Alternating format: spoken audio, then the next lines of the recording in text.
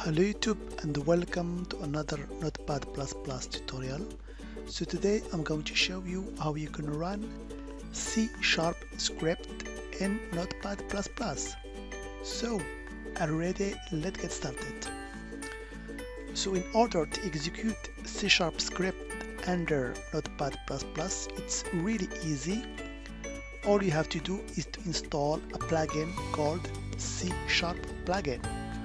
So as always, I will go to my plugins menu, then plugin manager, then I will choose show plugin manager.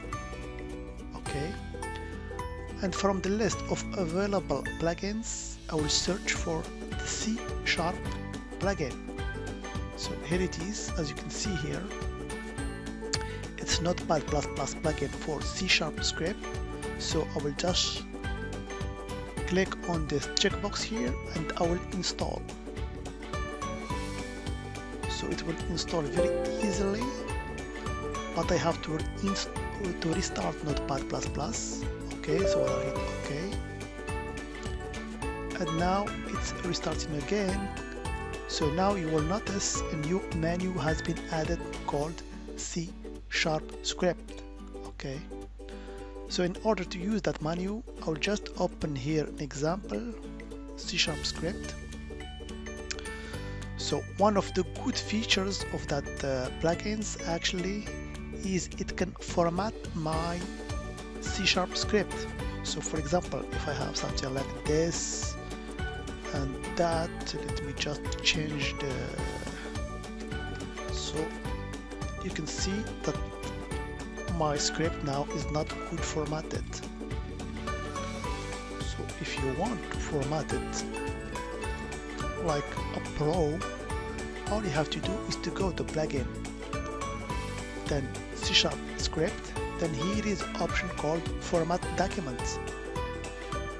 So now, as you can see, my script has been formatted like a professional programmer, okay? So in order to run the script here, it's really easy. Always go to your plugins, then C script C sharp plugin, then to run it, you run it. And you will notice here, so now by default it's on the debug view, but you can just turn it to your console view and this is the output. As you can see this is my first C sharp program. Because we have executed this script here using this plugin. Okay? And here on the left side you can see all the references to the DLL that uh, was used by the program. And if you hover over a name of dynamic link library you can see its location so here it uses actually two DLLs system and system.Linq okay? So of course it comes with auto completion features and IntelliSense features.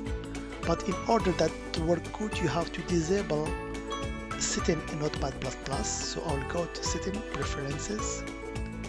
And here you can see the auto completion you have to disable these features here to disable it in order that your plugin works well. So me I already done that.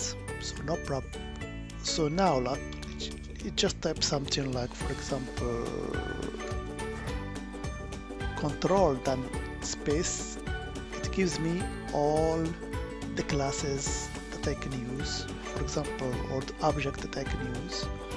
For example if I choose console if I hit points it gives me all the functions and the methods that I can use with this function here. So I can just type something like uh, right link for example if I want. So this is the IntelliSense feature that you can use.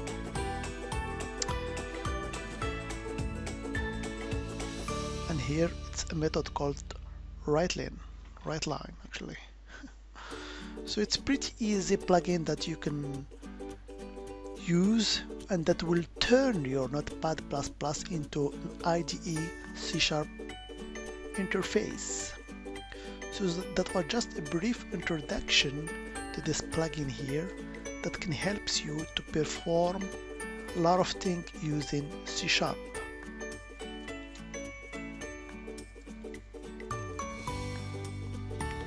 As always, I hope it has been informative for you and I want to thank you for viewing. Bye bye.